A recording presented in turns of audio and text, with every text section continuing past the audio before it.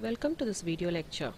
I'm J. Jeneetha Jebanazer, working as Assistant Professor in the Department of Electronics and Communication Engineering in Panimalar Engineering College.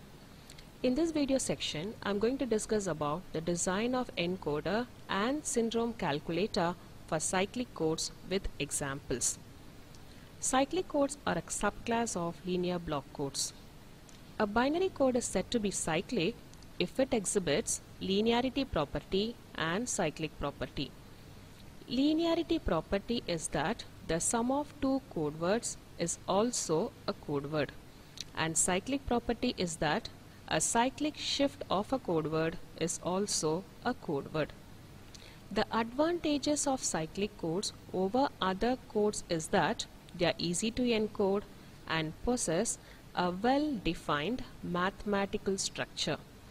Cyclic codes finds applications in data communications, data storage, magnetic and optical storage. A cyclic code is represented in general as a n, k code where n indicates the total number of bits in the code word, k indicates the total number of bits in the message, n minus k equal to q indicates the total number of check bits or parity bits added to the message bits. Generator polynomial is used to generate the cyclic codes. For a n, k cyclic code, the generator polynomial is given by g of p which is equal to p raised to the power of q exclusively or with g of q minus 1 p raised to the power of q minus 1 so on g of 1 p raised to the power of 1 exclusively or with 1. The highest degree of the generator polynomial is q. With this introduction, we'll see how to design a cyclic encoder for a n, k cyclic code. In order to design the encoder for a n, k cyclic code, first we need q number of registers and these registers are numbered from R0 till R of q minus 1. So I've considered q number of registers from R0 till R of q minus 1.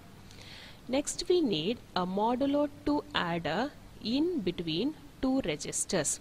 So I've included a modulo 2 adders in between two registers and these registers will be acting as shift registers.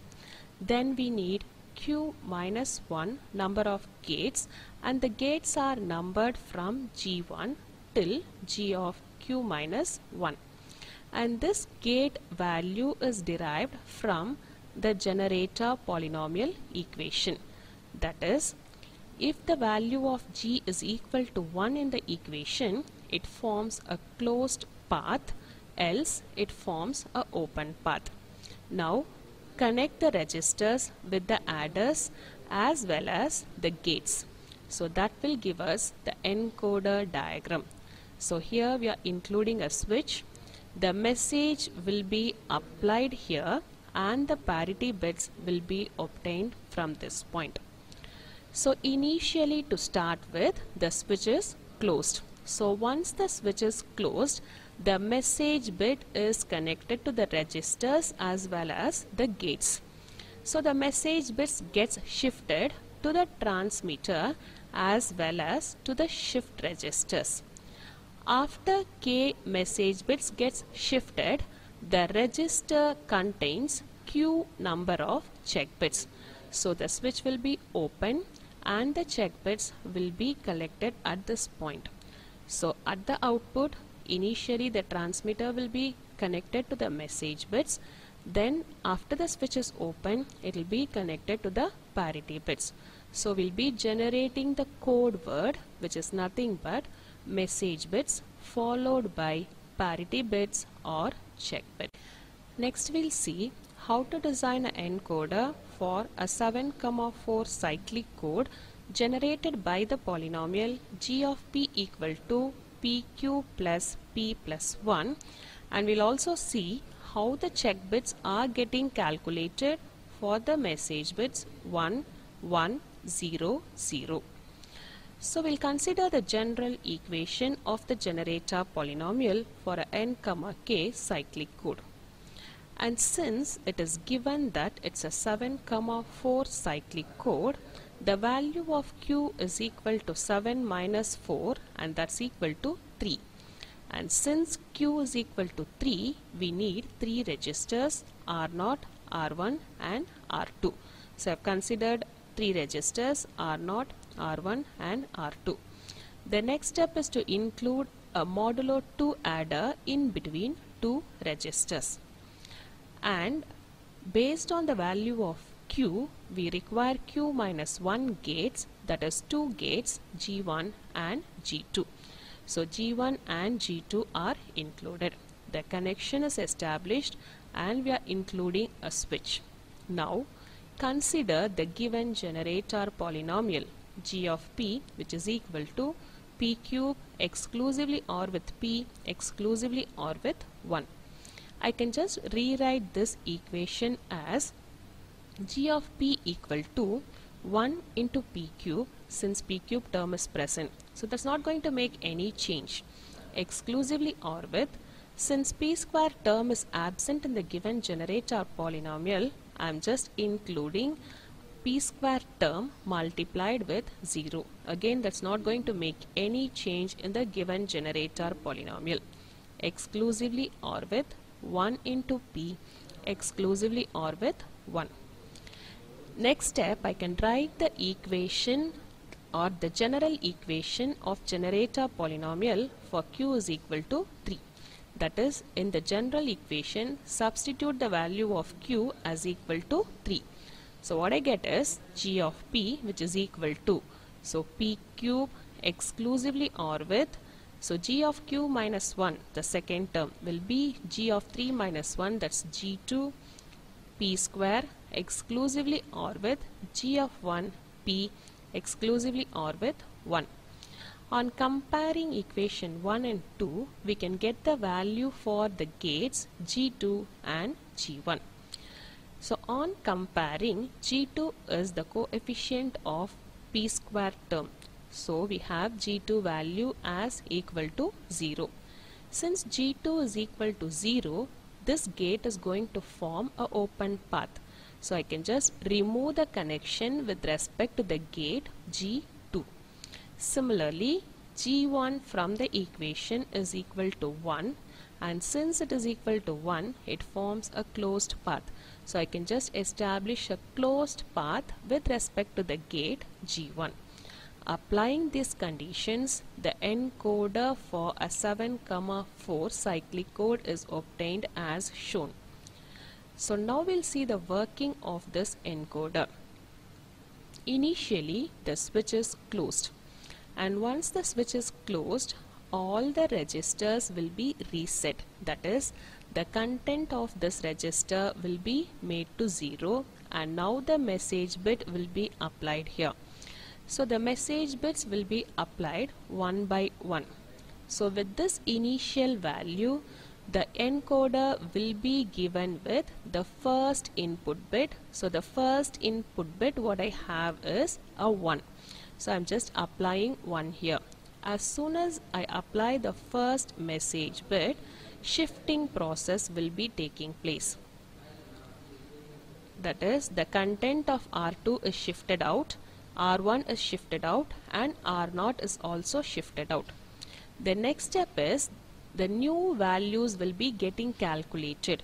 So in this modulo 2 adder, the input what I have is 0 and 1. So the output will be 1. So the same 1 will be applied to this modulo 2 adder as well as to the input of the register R0.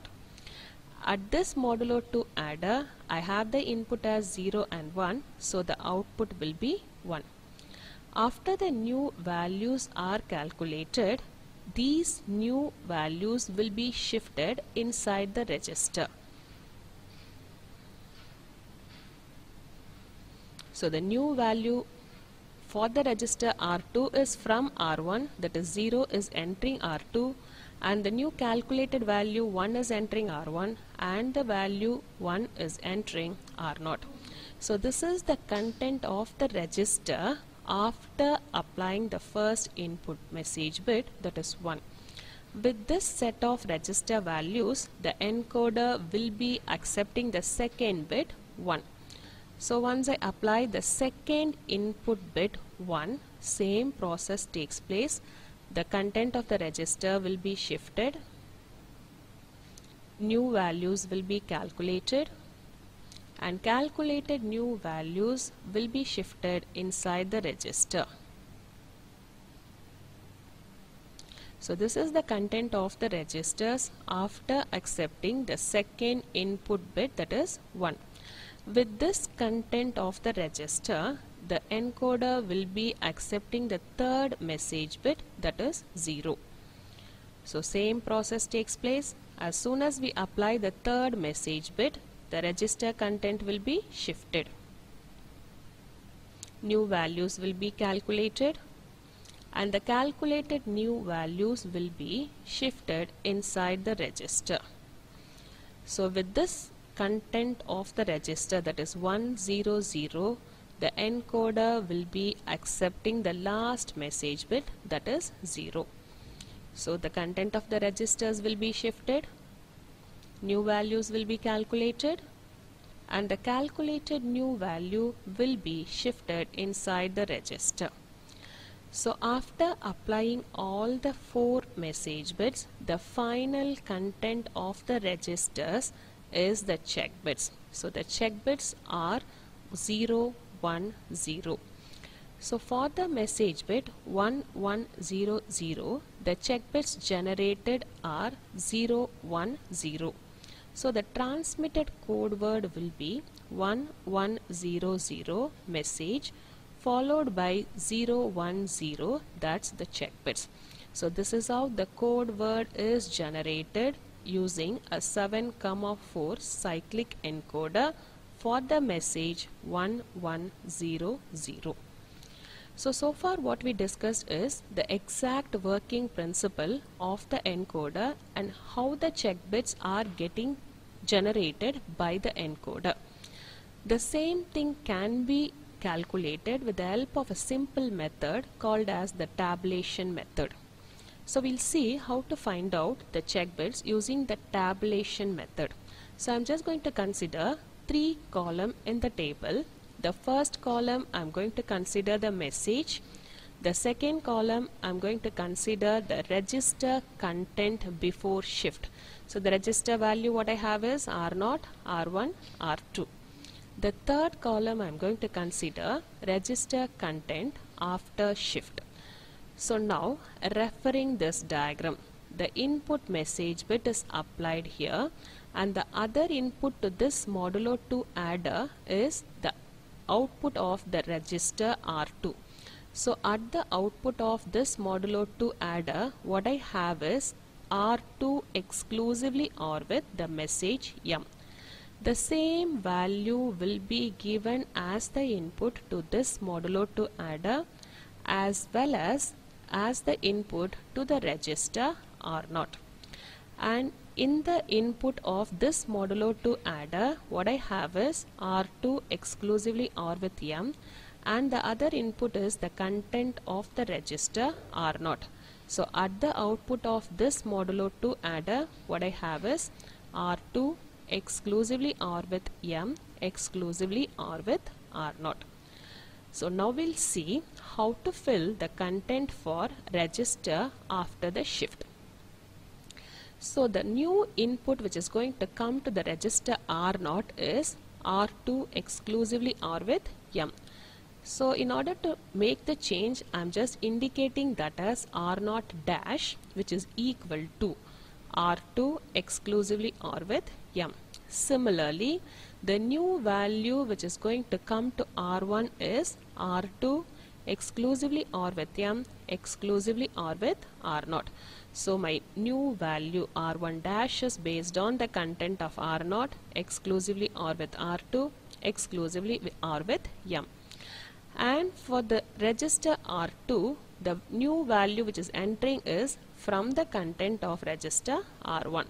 So based on this, now I'm going to explain how to calculate the check bits. So initially once I apply the first message bit, all the register content will be 0. So after that as we discussed the content of the registers will be shifted and the new values will be calculated. So here R0 dash is R2 exclusively R with M. R2 is 0, M is 1, so the value will be 0 plus 1 which is equal to 1. Similarly R1 dash is R0, R2, M. R0 is 0, R2 is 0, M is 1, so the value of R1 dash is 1 and R2 is equal to R1 so whatever R1 is available in the register content before shift that will be given to R2 dash. Okay. So once I apply the second bit the register content before shift will be so whatever register content we had in the previous stage that will be the initial value of the register once we accept the second input bits so the new set of values will be calculated. So once I apply the third message bit, these values that is 101 will be the initial content of the register. So I have 101. Based on that, I'll be calculating the content of register after shift. So finally, once I accept the last message bit, the initial register content will be 100. So the new values which is calculated is 0 1 0 and this is the check bit for the message bit 1100 so this will be transmitted. That is the code word which is transmitted for the message 1100 is 110001 Next we'll see the design of syndrome calculator for a n, k cyclic code. In order to design a syndrome calculator, first we need q number of registers. So the registers are numbered from S0 till S of q minus 1. These registers will be acting as shift registers. Then we include a modulo 2 adder in between two registers.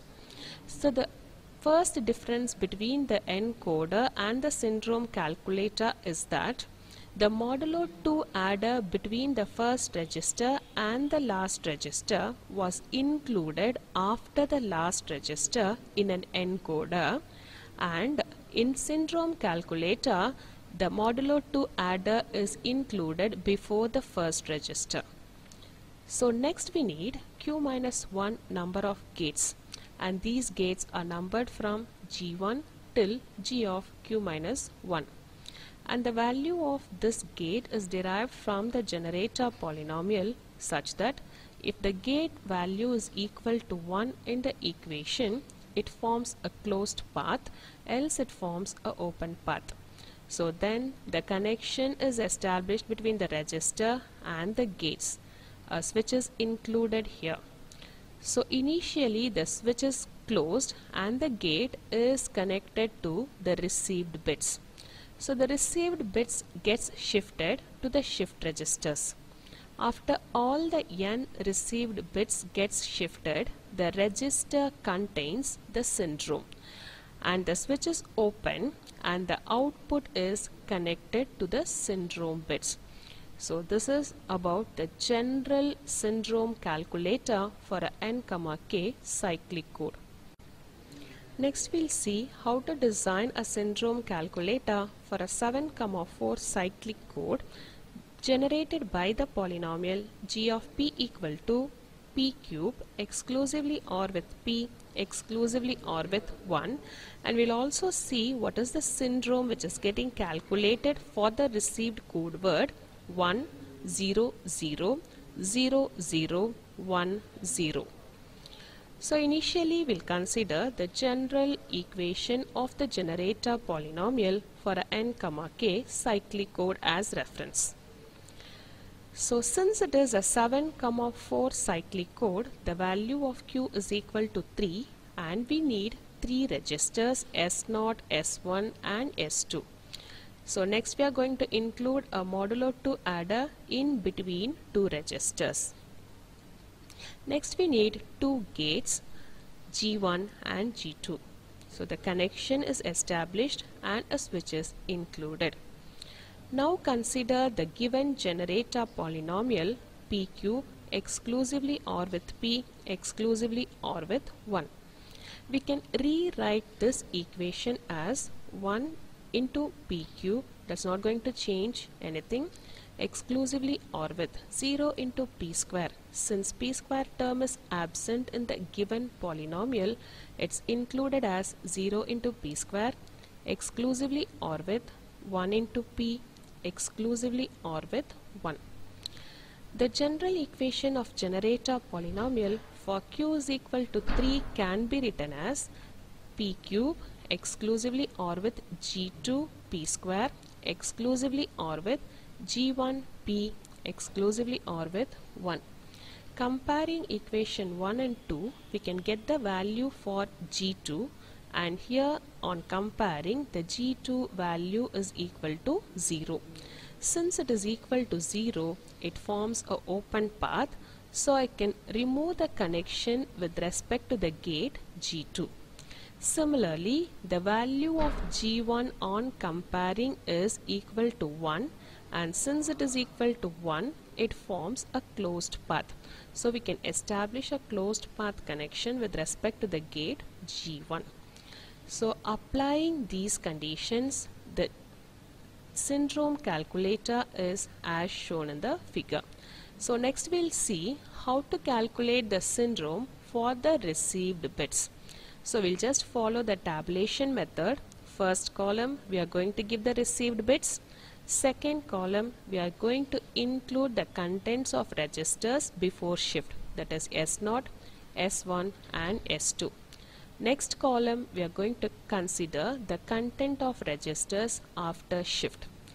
So referring the diagram the input to the register S0 is the received code word exclusively or with the content of the register S2.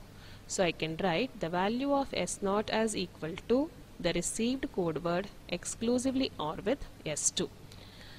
Similarly, the content to the register S1 is S2 as well as the output of S0. So what I have is S0 exclusively or with S2.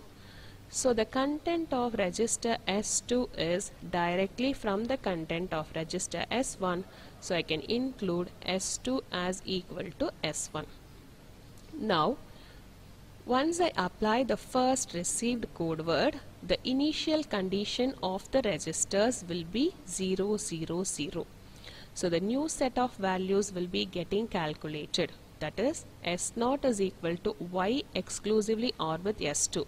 That is S2 exclusively or with Y, the received bits. So that will be equal to 1. Similarly, S1 will be equal to S0 exclusively or with S2 and S2 will be equal to S1. So once I accept the second message bit, the initial value of the register will be the calculated values that is 100. So for this the new set of values will be calculated and the procedure will be repeated. So I'm going to give the third bit with the register content as 010 new values will be getting calculated. So we can apply all the received code word.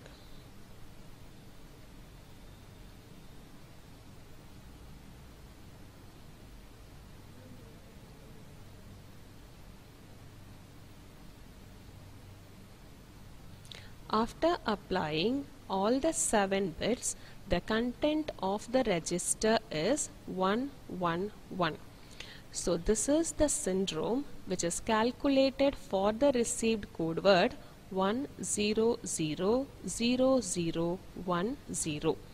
So if the syndrome value is, a value is available, it means that uh, there is an error in the received code word. Next we'll see how the error is detected and corrected using syndrome decoding. So in the example what we considered, what we discussed so far, the message bit what we considered was 1100. The check bits calculated for that was 010. The code word transmitted was 1100010. The received code word was 1000010. So on comparing the transmitted code word and the received code word, we can understand that there is a error in the second bit. So we'll see how this error is detected and corrected using syndrome decoding. The procedure is as soon as the code word is received that is given to a syndrome calculator wherein the syndrome will be calculated. If the syndrome is equal to 0 it means that there is no error in the received code word. If the syndrome is having a value it means that there is a error in the received code word and the syndrome calculated is given to the lookup table. So the lookup table is nothing but a error pattern followed by the syndrome. So based on the syndrome value, the error pattern will be obtained from the lookup table and that will be given to the error pattern. Finally, the error pattern and the received code word is given to the exclusively OR adder and that will be giving you the corrected code word. So now we'll see what happens for the example what we have considered. So the received code word is 1000010. The syndrome what we calculated is 111 that is given to the lookup table. So once it is given to the lookup table, it will be searching for that syndrome and the error pattern corresponding to the syndrome 111 is 010000 and that error pattern is obtained here. So that error pattern and the received code word will be given to the modulo 2 adder and will be obtaining the corrected code word. So the corrected code word is similar to that of the code word what we transmitted. So this is how we are going to check for error and correct the error using syndrome decoding. Thanks for listening to this lecture. Hope it was of some use to you. Thank you.